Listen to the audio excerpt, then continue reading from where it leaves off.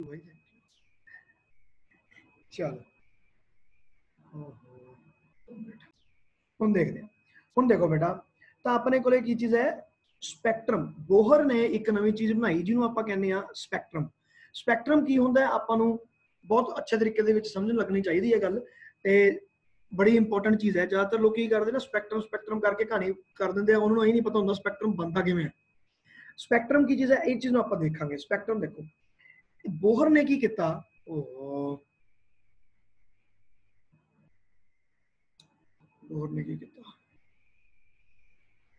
फिर वो प्रिज्म था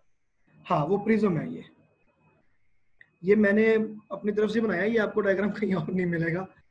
ठीक है ना? तो ये प्रिज्म वाला टॉपिक नहीं है प्रिज्म जो टॉपिक है वो अलग है। अब देखो अब यहाँ पर क्या हुआ? मैंने मान लो मेरे पास ना एक व्हाइट लाइट थी।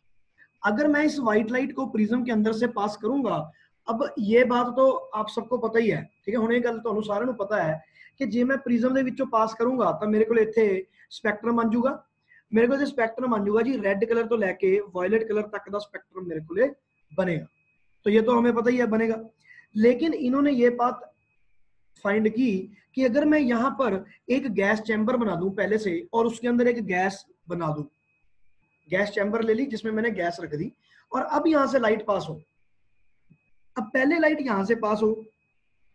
उसके बाद ये प्रिज्म से पास हो और प्रिज्म में ये डिस्पर्जन हो जाए। जो ये यहाँ पर होता है, इस चीज़ को हम बोलते हैं डिस्पर्जन तो ये चाहते हैं कि भाई यहाँ पर हमारा डिस्पर्जन हो जाए। अगर ये डिस्पर्जन हो गया तो ये यहाँ पे ब्रेक ब्रेकेज होगी यहाँ पे। ये ब्रेक होने पर आपके पास और ज़्यादा चली जाएगी। ये बन गया मेरे पास रेड और ये बन गया मेरे पास वॉयलेट तो ये सारे का सारा बन गया। इसको हम बोलते हैं स्पेक्ट्रम ये जो यहाँ पर बन रहा है ना बेटा this is known as spectrum spectrum का क्या मतलब है कि जितनी भी इलेक्ट्रोमैग्नेटिक वेव्स हैं जितनी भी लाइट हैगी है जो भी चीज अपने को गामा तो लेके रेडियो तक ਉਹਨਾਂ ਸਾਰੀਆਂ ਲਾਈਟ ਨੂੰ ਸਾਰੀਆਂ ਵੇਵਸ ਨੂੰ ਆਪਾਂ ਨੇ ਇੱਕ ਲਾਈਨ ਦੇ ਵਿੱਚ ਲਗਾ ਲੈਣਾ ਇਨਕਰੀਜ਼ਿੰਗ ਔਰ decreasing order of wavelength increasing ਔਰ ਡਿਕਰੀਜ਼ਿੰਗ ਆਰਡਰ ਆਫ ਫ੍ਰੀਕੁਐਂਸੀ ਆਪਾਂ ਉਹਨੂੰ ਸੈੱਟ ਕਰ ਲਓ ਤਾਂ that kind of thing is known as spectrum ਤਾਂ ਆਪਣੇ ਕੋਲੇ ਇਹ ਸਪੈਕਟਰਮ ਬਣ ਗਿਆ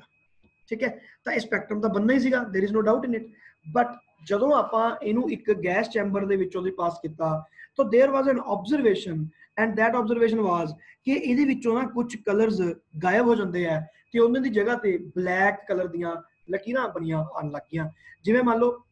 ਆ ਜਿਹੜੀ ਆਪਣੇ ਕੋਲੇ ਆ ਗਿਆ ਵੀ ਜਿਵੇਂ ਮੰਨ ਲਓ ਆਪਣੇ ਕੋਲੇ ਆ ਸਾਰੇ ਆ ਰਹੇ ਸੀਗੇ ਵਾਇਲਟ ਤੋਂ ਲੈ ਕੇ ਰੈੱਡ ਕਲਰ ਤੱਕ ਸਾਰੇ ਬਣ ਰਹੇ ਸੀ ਇੱਕਦਮ ਜਦੋਂ ਮੈਂ ਇਹ ਗੈਸ ਚੈਂਬਰ ਨੂੰ ਅੱਗੇ ਰੱਖਿਆ ਲਾਈਟ ਦੇ let us say the blue color vanished from the spectrum or let us say yellow color vanished from the spectrum ਆਪਾਂ ਇੱਥੋਂ ਦੇਖਿਆ ਇਹਦੇ ਵਿੱਚ ਆਪਾਂ ਕੀ ਕੀ ਦਿਖਾਇਆ ਹੋਇਆ ਇੱਕ ਤਾਂ yellow color ਹੈ ਜਿਹੜਾ ਗਾਇਬ ਹੋ ਗਿਆ ਤੇ ਇੱਕ ਆਪਣੇ ਕੋਲੇ blue color ਹੈ ਜਿਹੜਾ ਗਾਇਬ ਹੋ ਗਿਆ ਮਤਲਬ yellow and blue these two colors they have they are now not present in the spectrum ਗਾਇਬ ਹੋ ਗਏ ਉਹਨਾਂ ਦੀ ਜਗ੍ਹਾ ਤੇ ਬਲੈਕ ਕਲਰ ਦੀ ਪੱਟੀ ਆ ਗਈ ਹੁਣ ਇਹ ਬਲੈਕ ਕਲਰ ਦੀ ਪੱਟੀ ਕਿਉਂ ਆ ਗਈ ਜੀ ਉੱਥੇ ਇਹ ਤਾਂ ਆਪਾਂ ਨੂੰ ਪਤਾ ਨਹੀਂ ਹੁਣ ਇਹਨਾਂ ਨੇ ਕੀਤਾ ਇਹਨੂੰ ਹਟਾਤਾ ਜਦੋਂ ਇਹਨੂੰ ਹਟਾਇਆ ਉਦੋਂ ਦੇਖਿਆ ਆ ਵਾਲੀਆਂ ਦੋਨੋਂ ਫੇਰ ਫੇਰ ਆ ਗਈਆਂ ਮਤਲਬ there was no problem in the light there is no problem in the prism but ਇੱਥੇ ਆਪਾਂ ਨੂੰ ਸਾਰਾ ਸਪੈਕਟਰਮ ਫੇਰ ਫੇਰ ਮਿਲ ਗਿਆ ਬਟ ਅਗੇਨ ਜਦੋਂ ਮੈਂ ਗੈਸ ਚੈਂਬਰ ਲਗਾਇਆ ਇੰਟਰਸਟਿੰਗਲੀ ਇਟ ਵਾਸ ਫਾਊਂਡ ਕਿ ਆਪਣੇ ਕੋਲੇ ਆ ਦੋ ਕਲਰਸ ਫੇਰ ਫੇਰ ਗਾਇਬ ਹੋ ਗਏ important point is this also ਕਿ ਜਦੋਂ ਮੈਂ ਆ ਵਾਲੀ ਪਾਰਟਿਕੂਲਰ ਗੈਸ ਲਵਾਂ ਜਿਵੇਂ ਮੰਨ ਲਓ ਮੈਂ ਇਹਦੇ ਵਿੱਚ ਗੈਸ ਹਾਈਡਰੋਜਨ ਲਿੱਤੀ ਜੇ ਮੈਂ ਇਹਦੇ ਵਿੱਚ ਹਾਈਡਰੋਜਨ ਲਾਉਂਗਾ ਤਾਂ every time blue and yellow colour will be over blue and yellow colour ਹੀ ਆਪਣੇ ਕੋਲੇ ਜਿਹੜੇ ਕਲਰ ਨੇ ਜਿਹੜੇ ਆਪਣੇ ਕੋਲੋਂ ਗਾਇਬ ਹੋ ਰਹੇ ਆ ਹੋਰ ਕੋਈ ਕਲਰ ਨਹੀਂ ਗਾਇਬ ਹੋ ਰਿਹਾ ਜੇ ਮੈਂ ਹਾਈਡਰੋਜਨ ਲਿੱਤੀ ਤਾਂ ਬਲੂ ਤੇ ਯੈਲੋ ਹੀ ਜਾਣਗੇ ਜੇ मैं जगह ऑक्सीजन ले ला तो कोई और कलर जाएंगे अगर नाइट्रोजन ले ली तो कोई और कलर जाएंगे लेकिन अगर मैंने नाइट्रोजन ही ली तीन चार केसेस में सारे केसेस में मुझे सेम ही तरह का स्पेक्ट्रम बनता है इसको हम बोलते हैं लाइन स्पेक्ट्रम लाइन स्पेक्ट्रा के लाइंस को कैसे हमने फिट किया हुआ दैट इज़ लाइन स्पेक्ट्रा तो मैंने यहाँ पर क्या लिखा, देखो. Characteristic to each gas characteristic to each gas her gas का एक अपना यहाँ पर सिग्नेचर बनेगा. The gas in chamber can be identified by certain pattern of line spectrum because it will never change. जो हाइड्रोजन स्पेक्ट्रम बन रहा है, वही स्पेक्ट्रम हर जगह पर बनेगा. इतना अच्छे से बनता है ये चीज कि अगर हमें हमारे पास मान लो कोई गैस है और उस हमें पता नहीं कि वो कौन सी गैस है तो उस गैस को तो उस गैस को जब मैं यहां पर लेकर आऊंगा तो उसका एक पर्टिकुलर नक्शा बनेगा जब वो चीज बनेगी तो मुझे पता चल जाएगा आई कैन आइडेंटिफाई के गैस कौन सी है ਬੱਚੋ ਇਹ ਗੱਲ ਸਮਝ ਆ ਗਈ ਇਹਨੂੰ ਆਪਾਂ ਕਹਿੰਦੇ ਆ ਜੀ ਸਪੈਕਟਰਮ ਤਾਂ ਇਹ ਬਣ ਗਿਆ ਬੋਹਰਜ਼ gas spectrum experiment so this is the gas spectrum ਤਾਂ ਗੈਸ ਨੂੰ ਇੱਕ ਸਪੈਕਟਰਮ ਦੇ ਨਾਲ ਆਪਾਂ ਨੇ ਰਿਲੇਟ ਕਰਤਾ ਕਿ ਹਰ ਗੈਸ ਦਾ ਇੱਕ ਸਪੈਸੀਫਿਕ ਸਪੈਕਟਰਮ ਹੁੰਦਾ ਹੈ ਇਹਨਾਂ ਦੋਨਾਂ ਚੀਜ਼ਾਂ ਦਾ ਇੱਕ ਸਪੈਸੀਫਿਕ ਰਿਲੇਸ਼ਨ ਹੈ is it okay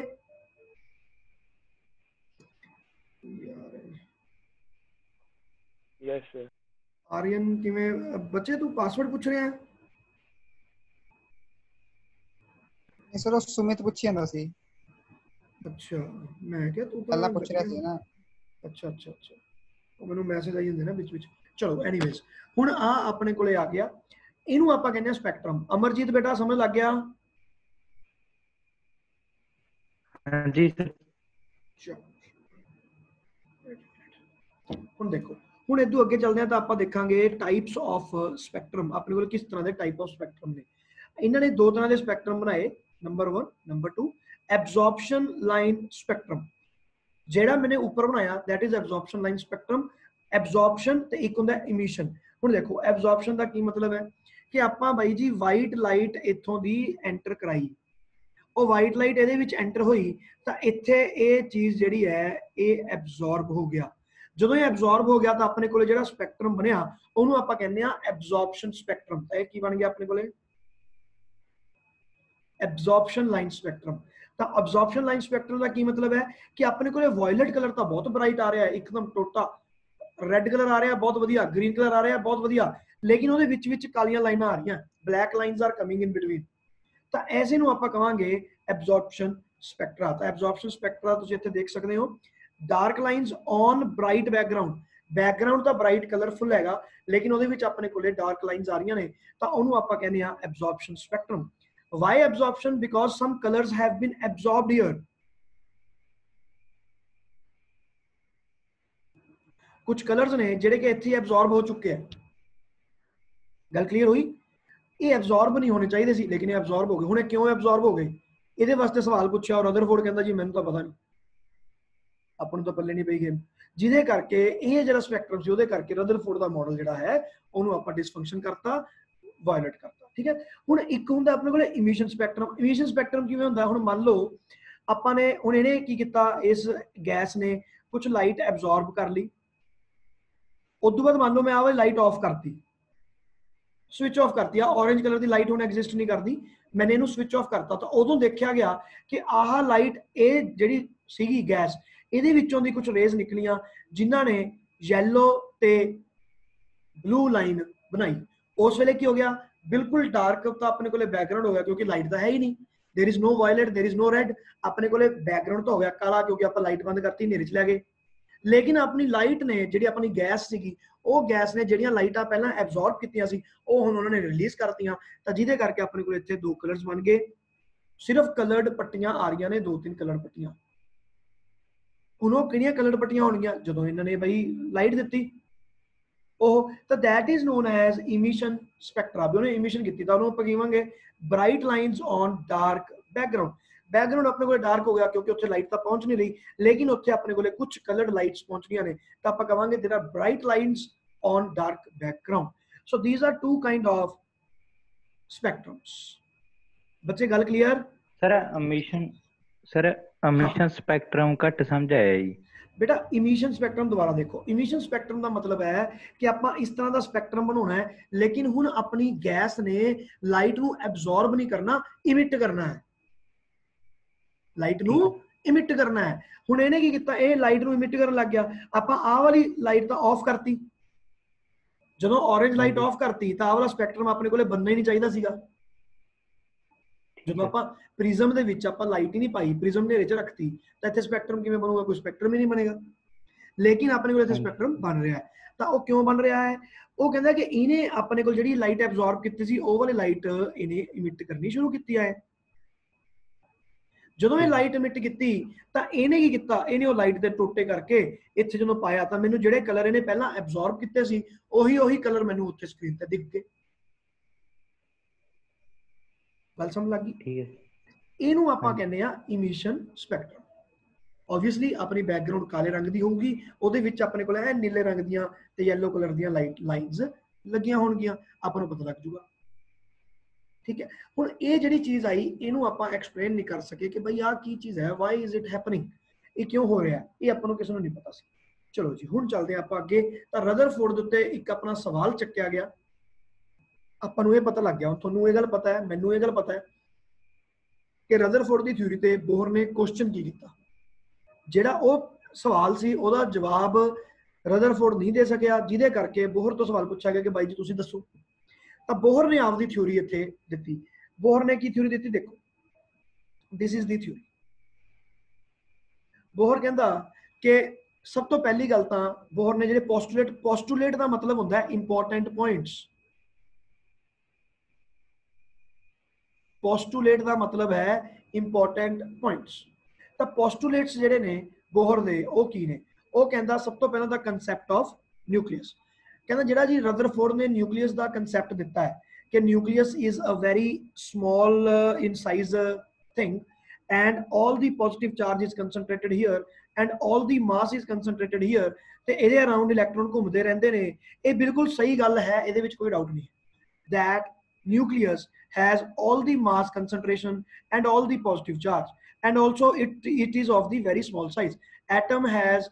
empty space around the nucleus ਤਾਂ ਨਿਊਕਲੀਅਸ ਦੇ ਅਰਾਊਂਡ ਬਹੁਤ ਸਾਰੀ empty space ਹੈਗੀ ਹੈ ਇਹਦੇ ਵਿੱਚ ਕੋਈ ਵੀ ਡਾਊਟ ਨਹੀਂ ਹੈ ਤਾਂ ਜੋ ਰਦਰਫੋਰਡ ਨੇ ਨਿਊਕਲੀਅਸ ਦੀ ਆਪਾਂ ਨੂੰ ਪਿਕਚਰ ਬਣਾਈ ਹੈ ਆਪਣੇ ਮਨ 'ਚ ਉਹ ਬਿਲਕੁਲ ਕਰੈਕਟ ਹੈ ਆਪਾਂ ਉਹਦੇ ਬਾਰੇ ਕੋਈ ਵੀ ਆਪਣੀ ਦੋ ਰਾਏ ਨਹੀਂ ਹੈ ਦੂਸਰੀ ਚੀਜ਼ ਆ ਗਈ ਆਪਣੇ ਕੋਲੇ quantum condition quantum condition is a very very important condition ਬੇਟਾ ਇਸ ਚੀਜ਼ ਨੂੰ ਤੁਸੀਂ ਦੇਖੋ, ਹੁਣ ਇਹਨਾਂ ਨੇ ਕੀ ਕੀਤਾ ਨਾ? ਪੁਆਇੰਟ ਨੰਬਰ 2 ਤੇ point number 3 is very important ਇਹ ਹੈ, ਜਿਹੜੇ ਰਦਰਫੋਰਡ ਦੇ ਵਿੱਚ ਆਪਾਂ ਨੇ ਅਟੈਕ ਕੀਤਾ ਆ ਦੋ ਪੁਆਇੰਟਸ ਨੇ ਅਟੈਕ ਕੀਤਾ। ਰਦਰਫੋਰਡ ਨੇ ਕਿਹਾ ਕਿ ਮੇਰੇ ਕੋਲ ਇੱਕ ਨਿਊਕਲੀਅਸ ਹੈ ਤੇ ਆਪਣੇ ਕੋਲ ਜਿਹੜਾ ਇਲੈਕਟ੍ਰੋਨ ਹੈ ਨਾ, ਉਹ ਕਿਤੇ ਵੀ ਘੁੰਮ ਸਕਦਾ ਹੈ, ਇੱਥੇ ਵੀ ਹੋ ਸਕਦਾ ਹੈ, ਇੱਥੇ ਵੀ ਹੋ ਸਕਦਾ ਹੈ, ਇੱਥੇ ਵੀ ਹੋ ਸਕਦਾ ਉਹ ਕਿਤੇ ਵੀ ਹੋ ਸਕਦਾ ਹੈ। ਇਲੈਕਟ੍ਰੋਨ ਆਪਦੀ ਮਰਜ਼ੀ ਨਾਲ ਘੁੰਮੂਗਾ। ਜਿਹੜਾ ਜਿੱਥੇ ਘੁੰਮੀ ਜਾਂਦਾ, ਉੱਥੇ ਘੁੰਮੀ ਜਾਂਦਾ ਹੈ ਸੋਲਰ ਸਿਸਟਮ ਵਾਂਗੂ। ਵੀ ਇੱਥੇ ਘੁੰਮ ਰਿਹਾ ਹੁਣ ਜੇ ਆਪਾਂ ਕੱਲ ਕਹਿ ਦਈਏ ਕਿ ਯਾਰ ਇਹਦੇ ਵਿੱਚ ਇੱਥੇ ਇਲੈਕਟ੍ਰੋਨ ਨਹੀਂ ਹੈ ਤਾਂ ਕਹੂਗਾ ਠੀਕ ਹੈ ਜੀ ਨਹੀਂ ਹੈ ਤਾਂ ਨਹੀਂ ਹੈ we can do anything but ਇਹਨੇ ਕੀ ਕੀਤਾ ਬੋਹਰ ਨੇ ਇੱਕ ਥਿਊਰੀ ਦਿੱਤੀ ਜਿਹਨੂੰ ਕਹਿੰਦੇ ਆਪਾਂ ਕੁਆਂਟਮ ਕੰਡੀਸ਼ਨ ਕੁਆਂਟਮ ਦਾ ਮਤਲਬ ਹੁੰਦਾ ਹੈ ਕੁਆਂਟੀਟੀ ਤਰੁਣ ਗੋਇਲ ਉਹਨੇ ਕੌਣ ਹੈ ਅ ਸੁਮਿਤ ਹਜੇ ਤੱਕ ਆਇਆ ਨਹੀਂ ਹੈ सुमित एंटर ही नहीं हुआ अभी तक अच्छा आया तो था आया तो था वो आपने उसमें नहीं लिया होगा वेटिंग में ही रह गया नहीं नहीं होगा। मैंने कर दिया था सुमित चलो बोल देगा बच्चा तो अब ये जो मेरे पास इलेक्ट्रॉन आ गए अब इन इन इलेक्ट्रॉन ਦੇ ਉੱਤੇ ਆਪਣੇ ਕੋਲ ਕੋਈ ਲਿਮਿਟ ਤਾਂ ਹੈ ਨਹੀਂ ਕਿਤੇ ਵੀ ਹੋ ਸਕਦੇ ਆ ਲੇਕਿਨ ਆਪਣੇ ਨੂੰ ਕੁਆਂਟਮ ਕੰਡੀਸ਼ਨ ਲਗਾ ਦੀ ਕੁਆਂਟਮ का मतलब होता है क्वांटिटी छोटी क्वांटिटी ताकि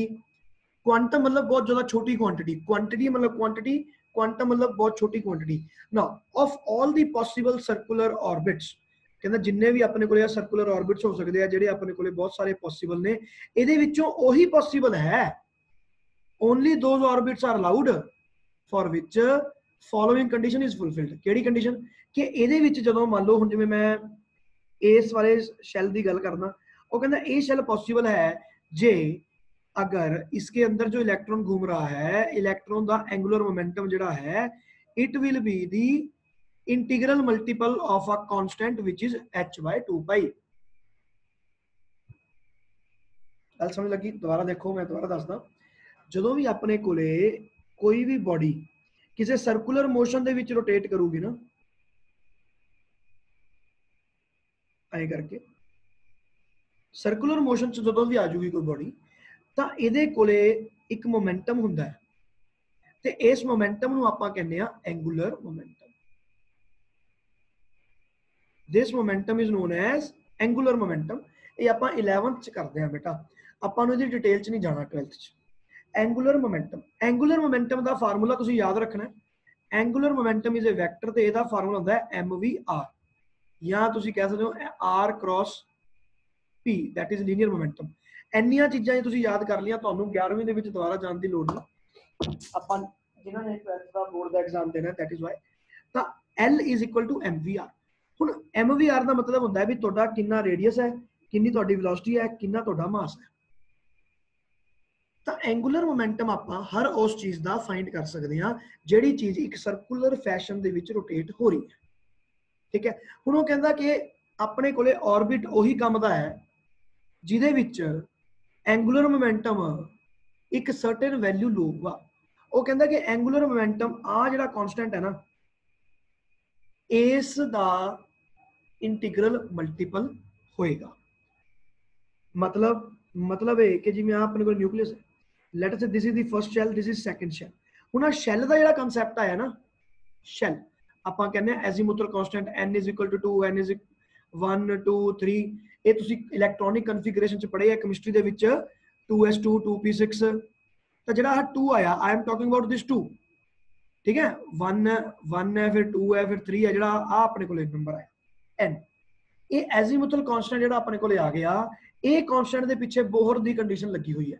ਤਾਂ ਬੋਹਰ ਕਹਿੰਦਾ ਹੈ ਕਿ ਪਹਿਲੀ ਸ਼ੈਲ ਦੇ ਵਿੱਚ ਐਂਗੂਲਰ ਮੋਮੈਂਟਮ ਕਿੰਨਾ ਹੈ ਇਹਦਾ h/2 ਪਾਈ ਹੈ h/2 ਪਾਈ ਨੂੰ ਆਪਾਂ ਇੱਕ ਨਵੇਂ ਕਨਸਟੈਂਟ ਦੇ ਨਾਲ ਵੀ ਰਿਲੇਟ ਕਰਦੇ ਹਾਂ this constant is written like this h ਦੇ ਉੱਤੇ ਬਾਰ ਇਹ ਕਨਸਟੈਂਟ ਹੈ ਤਾਂ ਆਪਾਂ ਇਹਨੂੰ ਲਿਖ ਸਕਦੇ ਹਾਂ n h ਦੇ ਉੱਤੇ ਬਾਰ ਤਾਂ ਉਹ ਕਹਿੰਦਾ ਕਿ ਪਹਿਲੇ ਸ਼ੈਲ ਦੇ ਵਾਸਤੇ ਐਂਗੂਲਰ ਮੋਮੈਂਟਮ ਕਿੰਨਾ ਹੋਣਾ ਚਾਹੀਦਾ ਹੈ n ਦੂਜੇ ਸ਼ੈਲ ਵਾਸਤੇ ਐਂਗੂਲਰ ਮੋਮੈਂਟਮ ਕਿੰਨਾ ਹੋਣਾ ਚਾਹੀਦਾ ਹੈ n ਤੀਜੇ ਸ਼ੈਲ ਵਾਸਤੇ ਐਂਗੂਲਰ ਮੋਮੈਂਟਮ ਕਿੰਨਾ ਹੋਣਾ ਚਾਹੀਦਾ ਹੈ n ਕਹਿੰਦੇ ਐਂ ਹੋਊਗਾ ਇਹਦਾ ਮਤਲਬ ਬੋਹਰ ਕਹਿੰਦਾ ਕਿ there is no electron which is having 2.5 this ਇੰਨਾ ਐਂਗੂਲਰ ਮੋਮੈਂਟਮ ਤਾਂ ਹੋ ਹੀ ਨਹੀਂ ਸਕਦਾ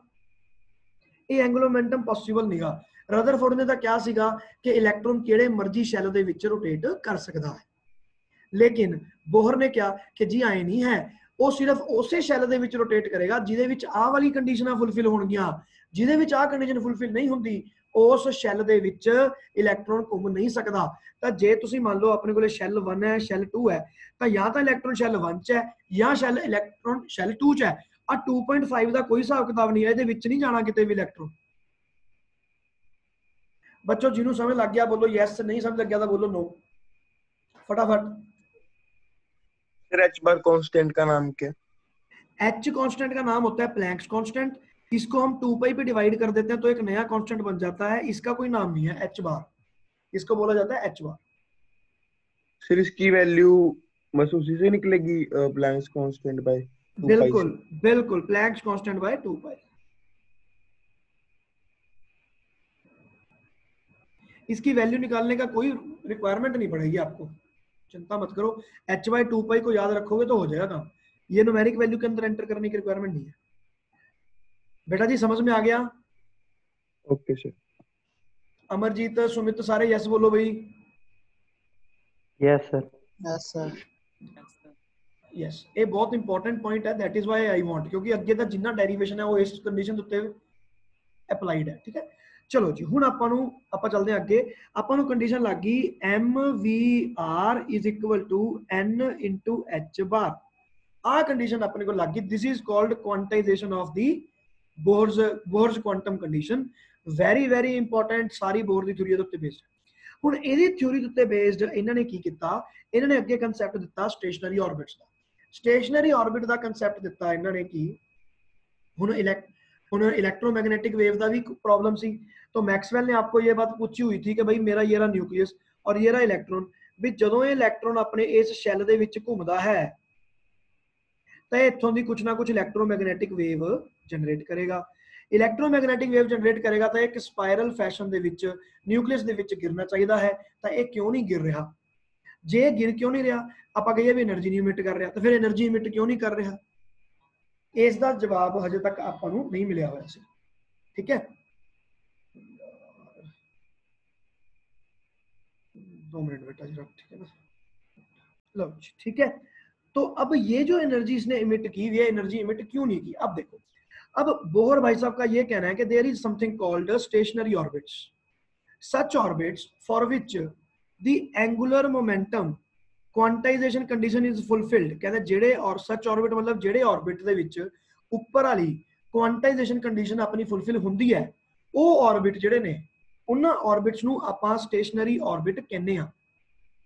क्योंकि बाकी सब जो ऑर्बिट वो एग्जिस्ट नहीं करते तो इनको हमने एक स्पेशल नाम दे दिया स्टेशनरी ऑर्बिट प्रॉपर्टी क्या है When electrons revolve in these orbits they do not emit electromagnetic wave वो इलेक्ट्रोमैग्नेटिक वेव उन्होंने इमिट नहीं करनी, कब नहीं करनी? अगर ये उस शेल के अंदर घूम रहा है, जिसमें हमारी ये वाली कंडीशन फुलफिल होती है। अगर ये कंडीशन फुलफिल ही नहीं हो रही, मान लो आप कहीं बीच में कहीं इलेक्ट्रॉन फंस गया तो वो एनर्जी को इमिट करेगा और या तो वो शेल नंबर टू में चला जाएगा या शेल नंबर थ्री में चला जाएगा। जो आपने केमिस्ट्री में पढ़ा होगा एक्साइटेशन और डी एक्साइटेशन के बारे में, जब आपने लाइमन बालमर पास्चन पढ़ा। तो उन्होंने बोला कि या तो इलेक्ट्रॉन ऊपर चला जाएगा या इलेक्ट्रॉन नीचे आ जाएगा। क्यों? क्योंकि उसके पास एनर्जी कुछ ऐसी है कि वो ये वाली कंडीशन के अंदर फिट नहीं हो रहा भाई।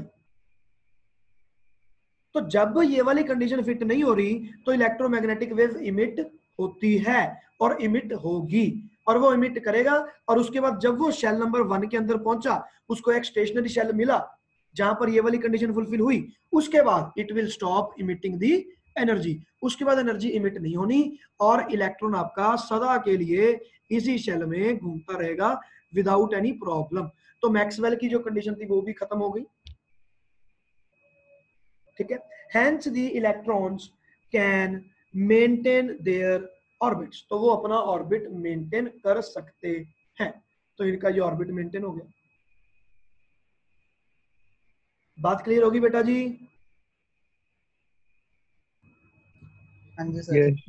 है ना? तो ये बन गई आपके पास स्टेशनरी ऑर्बिट बहुत इंपॉर्टेंट है कंसेप्ट है कि भी इलेक्ट्रोमैग्नेटिक वेव निकलनी चाहिए। नहीं नहीं निकलती भाई स्टेशनरी लेकिन यहाँ पर भी एक कैच है। यहाँ पर कैच ये है कि जब इन्होंने बोल दिया कि they do not emit electromagnetic wave तो मैं यहाँ पर भी तो क्वेश्चन पूछ सकता हूँ भाई। क्यों भाई? ऐसा क्या हो जाता है यहाँ पे जाके कि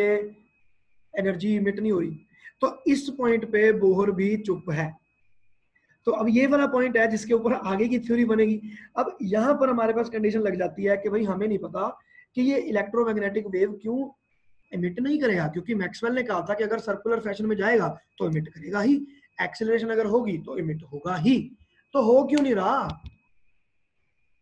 उसने बोला कि भाई ये थी, मुझे पता, लेकिन मैं इस डिसीज़न तक तो पहुँच गया कि अगर ये वाली कंडीशन फुलफिल हो रही है तो ये इमिट नहीं हो रही।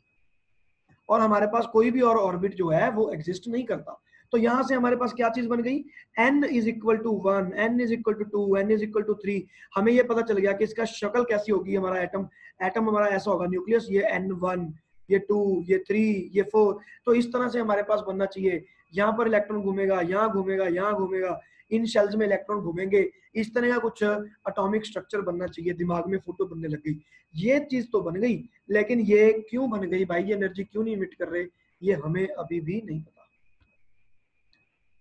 इसके बाद चलते हैं फ्रीक्वेंसी कंडीशन अब उसने शेल बना लिए तो अब एक्साइटेशन और डी एक्साइटेशन भी तो करवानी है। तो इसने बोला कि भाई, ये रहा शेल वन और ये रहा shell two atom can emit or absorb radiation in the form of discrete energy packets only when an electron de-excites or excites. अब अगर ये वाला इलेक्ट्रॉन जो है, ये यहाँ पर बढ़ा था अगर ये नीचे जंप करता है तो यहाँ से इलेक्ट्रोमैग्नेटिक वेव जनरेट होगी। अगर ये इलेक्ट्रॉन यहाँ से जंप करता है ऊपर की तरफ़ तो इसको कोई ना कोई इलेक्ट्रोमैग्नेटिक वेव एनर्जी मिली होगी। इसने वो एनर्जी एब्जॉर्ब कर ली होगी और उसके बाद ऊपर छाल मार दी होगी। तो ये इलेक्ट्रॉन की एक्साइटेशन हो गया होगा और इसका डी एक्साइटेशन भाई जब डी एक्साइटेशन हुआ तो आपकी एनर्जी रिलीज़ हुई होगी। और जब एक्साइटेशन हुआ तो आपने कोई ना कोई एनर्जी एब्जॉर्ब कर ली होगी और एब्जॉर्ब करके आपने एक्साइटेशन किया होगा। तो एक हो गया ये और एक हो गया ये।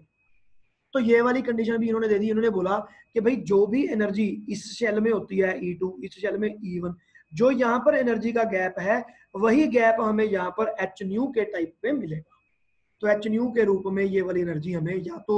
बाहर आएगी और या फिर यही वाली एनर्जी इसको अंदर जाएगी, तब ही यहाँ पर ये बनेगा। अब देखो, अब इन्होंने कैसे एक्सप्लेन की वो वाली चीज़ कि भाई हमारे पास लाइन स्पेक्ट्रा कैसे बना? तो उन्होंने बोला कि देखो, यहाँ पर पहले हमारे पास जो इलेक्ट्रॉन थे हाइड्रोजन के, वो यहाँ पर पहली शेल में पड़ा था। जब मैंने यहाँ से लाइट मारी तो लाइट उसने क्या किया? ये वाली और ये वाली फ्रीक्वेंसी एब्जॉर्ब कर ली। ये और ये जब इन्होंने एब्जॉर्ब की तो ये वाले इलेक्ट्रॉन ने जंप करके ऊपर वाले शेल के अंदर चला गया। और सारे के सारे जो एटम्स हैं, सारे के सारे एटम उन्होंने वो सारी एनर्जी ले ली। इसका मतलब ये है कि ये वाली एनर्जी और ये वाली एनर्जी हमारे पास पहुँची नहीं। तो ये जो light I this is breath of the colors of blue and the so, blue and yellow color do not exist in this light. जिसके कारण जब हमारे पास यहाँ पर स्पेक्ट्रम बनाया तो ब्लू और येलो लाइट हमें मिली नहीं। क्योंकि वो तो एब्सॉर्ब हो गया। अब इमिशन स्पेक्ट्रम कैसे बन गया? ओ भाई, इसके पास एनर्जी आ चुकी थी। इसने जब इमिट की तो सारे के सारे इलेक्ट्रॉन की डी एक्साइटेशन हो गई। इलेक्ट्रॉन ऊपर वाले सेल शेल से नीचे वाले शेल में छाल मार के नीचे चले गए। और ये वाली एनर्जी को इन्होंने इमिट कर दिया। ये एनर्जी इमिट हुई तो मुझे यहाँ पर एनर्जी मिल गई। सो इमिशन स्पेक्ट्रा बन गया। तो अब आपका इमिशन स्पेक्ट्रा भी एक्सप्लेन होता है और अब आपका एब्जॉर्प्शन स्पेक्ट्रा भी एक्सप्लेन होता है। तो भाई, मेरी थ्योरी जो है वो बिल्कुल करेक्ट है। बोहर भाई साहब कहते वाई बहुत सारे नए आए कि why does this happen why does that happen there were many whys but वो वाई का हमें उनकी तरफ़ से कोई आंसर नहीं मिला। लेकिन नई रिसर्च के लिए ग्राउंड स्टेब्लिश हो गया। तो नई आर क्या होनी है, वहाँ पर हमें बन गए। तो अब नए साइंटिस्ट आएँगे, उस पर काम करेंगे, नई थ्योरी देते जाएँगे धीरे धीरे सबके पन्ने खुलते रहेंगे। इस तरह से हमारी गेम बन गई। चलो, बेटा जी, यहाँ तक समझ में आ गया? सर चलो इसके बाद हम चलते हैं थोड़ा सा मैथमेटिक्स में। आ, मेरा मानना है कि मैथमेटिक्स में हमें आज नहीं टच होना चाहिए क्योंकि ये टॉपिक जो है वो पाँच दस मिनट में खत्म होगा नहीं और हमारे पास सिर्फ़ छह ही मिनट बाकी बचे हुए हैं। तो हम इसी चीज़ को एक बार दोबारा देख लेते हैं रिवाइज कर लेते हैं कि हमने अब तक क्या किया। ठीक है? देखो तो ये तो हमने कर ही लिया तो जो कल हमने किया था उसको हम एक बार दोबारा देख लेते हैं ठीक है, अब हम आगे नहीं पढ़ेंगे, जितना मैंने करवाया, इसको आपने अच्छे से पढ़ना है। टॉपिक थोड़ा सा डाइसी है, हाथ से निकल सकता है, इसलिए इसको ध्यान से पढ़ना है। इतना इजी टॉपिक है कि अगर मतलब आपके नंबर आ ही जाएँगे इसमें। ठीक है, चलो मैं रिकॉर्डिंग भी ऑफ़ ही कर देता हूँ। Tata bye